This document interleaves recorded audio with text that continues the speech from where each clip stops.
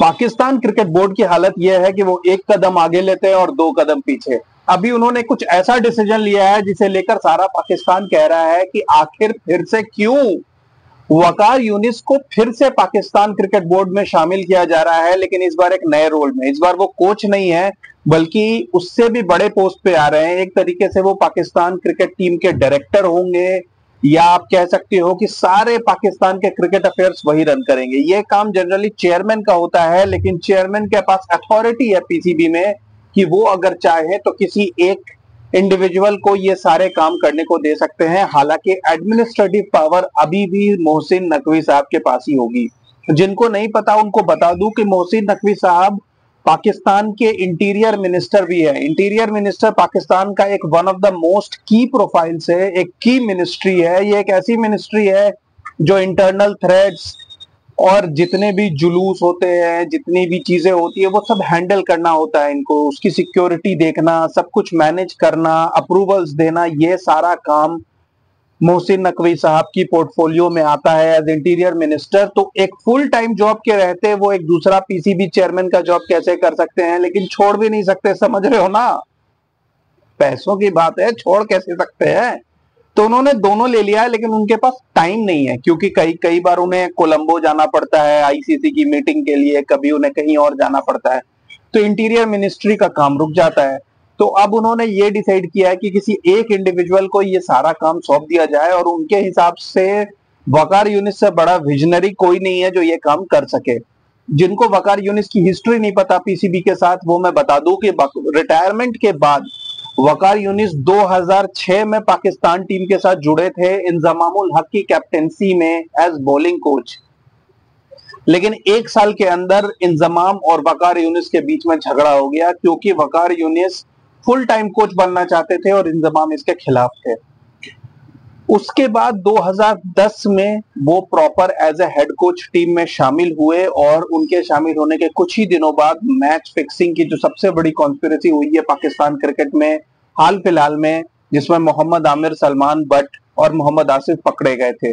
उसके अगले साल वर्ल्ड कप में जब पाकिस्तान बाहर हुई तो उस टाइम शाहिद आफरीदी, जो उस टाइम के कैप्टन थे पाकिस्तान ओडीआई टीम के और वकार यूनिस के बीच भी ज़बरदस्त झगड़ा हुआ था और ये पीसीबी की रिपोर्ट में ये कोई ऐसा झगड़ा नहीं है जो हिडन बिहाइंड हिडन डोर्स हुआ हो, ये सामने झगड़े की बात है जिसको लेकर काफ़ी कॉन्स्पिरसी भी हुई थी। उसके बाद थर्ड टाइम 2014 में वकार यूनिस फिर से हेड कोच बन के आए पाकिस्तान के टीम में पीसीबी के तरफ़ से अपॉइंट होके आए और वहाँ आने के बाद मिसबा के साथ उन्होंने कुछ दिन काम किया। वहाँ पर भी सबको याद होगा कि सरफराज अहमद जो उस टाइम एक इमर्जिंग क्रिकेटर थे, उनके साथ वकार यूनिस ने काफ़ी नाइंसाफी की थी। उनको टीम में जगह नहीं देते थे। कुछ लोगों का कहना है कि जिस जगह से सरफराज अहमद बिलोंग करते हैं, उस जगह के क्रिकेटर्स को ज़्यादा लाइक नहीं किया जाता। मैं नाम नहीं लेना चाहता बट कुछ इस तरीके की थ्योरी की वजह से वो सरफराज को मौका नहीं देते थे। इवेंचुअली जब पाकिस्तान की हालत बहुत बुरी हो गई उस वर्ल्ड कप में, जैसा जनरली पिछले कुछ सालों में होता आया है तो फिर सरफराज को मौका देना पड़ा। उस टाइम अहमद शहजाद और उमर अकमल को आप कह सकते हो कि परफॉर्मेंस के बियॉन्ड एक इनडेफिनिट बैकिंग थी कि वो चाहे जो भी करें, लेकिन सरफराज को चांस नहीं दिया जाता था। इवेंचुअली जब सरफराज को मौका मिला उन्होंने man of the match performances the eventually एक साल के बाद वो कैप्टन बन गए। लेकिन उस दौरान वकार यूनिस का फिर से टी ट्वेंटी टीम में, जिसके शाहिद अफरीदी कैप्टन थे, फिर से फड्डा हुआ और वकार यूनिस ने 2016 में रिजाइन किया। उसके बाद 2019 में, जब मिसबा रिटायर होने के बाद पीसीबी की तरफ़ से हेड कोच सेलेक्टर सारे डेजिग्नेशन लेकर वापस आए तो वही वकार यूनिस जो मिसबा की कैप्टनसी में हेड कोच थे वो मिसबा के हेड कोच बनने पर असिस्टेंट कोच बन के आ गए। और आकिब जावेद ने उस टाइम ये कहा कि वकार यूनिस के पास पैसे कमाने के अलावा कोई सोच नहीं है, क्योंकि वकार यूनिस को जब मौका मिलता है, वो कमेंटेटर बन जाते हैं, जब मौका मिलता है, वो हेड कोच बन जाते हैं, लेकिन वो कोचिंग से रिलेटेड ना तो कोई कोर्स करते हैं, ना किसी जूनियर टीम के साथ काम करते हैं। अब जनरली जो कोचिंग के लाइन में घुस चुके हैं, जैसे अभी आप राहुल द्रविड़ की भी बात कर लो तो राहुल द्रविड़ ने भले ही अभी नेशनल टीम की कोचिंग छोड़ दी है, लेकिन वो फिर आईपीएल की किसी टीम के साथ एसोसिएट होंगे एज कोच उसके अलावा भी, उसके पहले भी वो जूनियर टीम्स की कोचिंग कर चुके हैं, लेकिन वकार यूनिस को जब भी पाकिस्तान टीम के कोच के पोस्ट से हटाया जाता है, वो टीवी पर आ जाते हैं, वो कमेंटेटर बन जाते हैं वो कोचिंग से रिलेटेड कोई भी चीज़ सीखना नहीं चाहते, ना तो वो कोई कोर्स करते हैं, वो वापस आ जाते हैं। और मोहसिन नकवी साहब ये सारी हिस्ट्री जानते हुए भी वकार यूनिस को वापस ले आए। आपको ये भी बता दूँ कि मोहम्मद आमिर ने वकार यूनिस के वापस आने के बाद मोहम्मद आमिर थे जिन्होंने सबसे पहले उसी टाइम पे इंटरनेशनल क्रिकेट से अपनी रिटायरमेंट अनाउंस की थी, क्योंकि उन्होंने कहा था कि मैं वकार यूनिस के साथ काम नहीं कर सकता। 2021 में जब रमीज राजा अपॉइंट हुए थे पीसीबी के चेयरमैन उसी वक्त वकार यूनिस ने रिजाइन कर दिया था जबकि उस टाइम वर्ल्ड कप आना बाकी था।